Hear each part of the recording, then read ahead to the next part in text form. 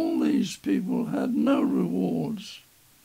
Uh, Tommy Flowers got a, an innovation reward of a thousand pounds, but no government recognition.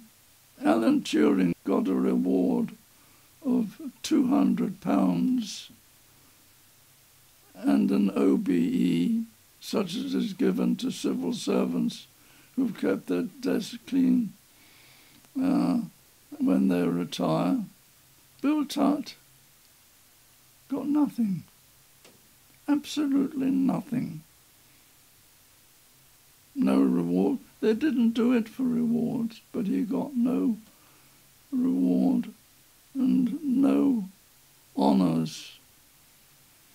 He was later made a Fellow of the Royal Society, but that was for other work he did.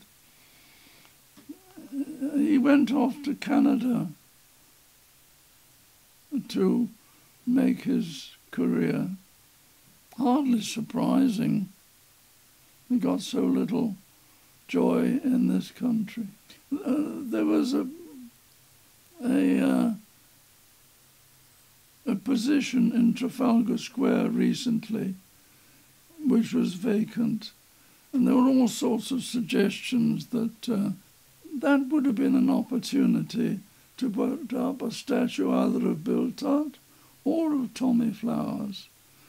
People would have said, Who the hell is Tommy Flowers? But they would have learned who he was and what he had done. I do not understand the attitude of the government. I think it's disgraceful.